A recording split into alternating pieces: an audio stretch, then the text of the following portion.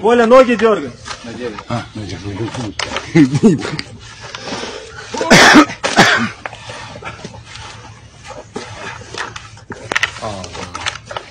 Ain't no way, man. Ain't no way. Ain't no way, bro.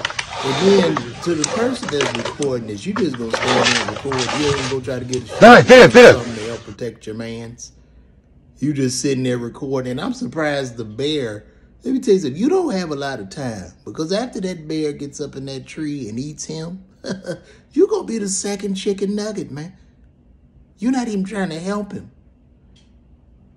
I would have been gone. I would have been lunch. I don't even know how he's able to climb so well up that tree, but God bless him for doing that. But my goodness, I didn't even know bears could climb like that. That would have been the scariest part. Now I done ran, I run. They they already can run 50, 60 miles an hour. So you had to have a, a big head start to get to the tree. Now I'm on the tree. I'm climbing up the tree, and this damn 600 pound bear is climbing up the tree after me like he's a cat. Man, please. I'd have been lunch. I'd have been like, I would have handed him some steak sauce and said, all right, here you go, man. Just let me let me call my wife and child, tell them I love them. Just give them one last goodbye because Smokey the Bear, he not playing right now. He, he's not playing. He wants to eat. You thought he was filling you? Uh, no brother, you lunch. That's that's what's going on right now. That's really what's going on. Like, tell that bear to call me and that cameraman.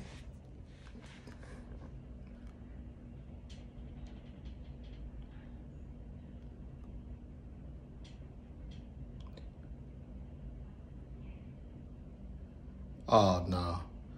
Ain't no way, man. Ain't no way. Ain't no way, bro. And then to the person that's recording this, you just gonna stand there and record. You ain't gonna go try to get a shotgun or something to help protect your mans. You just sitting there recording. And I'm surprised the bear.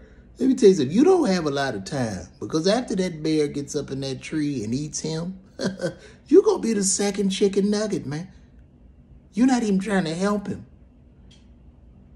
I would have been gone. I would have been lunch. I don't even know how he's able to climb so well up that tree, but God bless him for doing that. But my goodness, I didn't even know bears could climb like that. That would have been the scariest part. Now I done ran, I run. They they already can run 50, 60 miles an hour. So you had to have a, a big head start to get to the tree.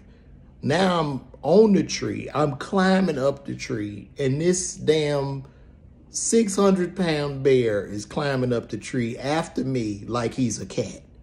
Man, please. I'd have been lunch. I'd have been like, I would have handed him some steak sauce and said, all right, here you go, man. Just let me let me call my wife and child, tell them I love them. Just give them one last goodbye because Smokey the Bear, he not playing right now. He, he's not playing. He wants to eat. You thought he was feeling you? Uh, no. Brother, you lunch. That's that's what's going on right now. That's really what's going on. Like, tell that bear to call me and that cameraman.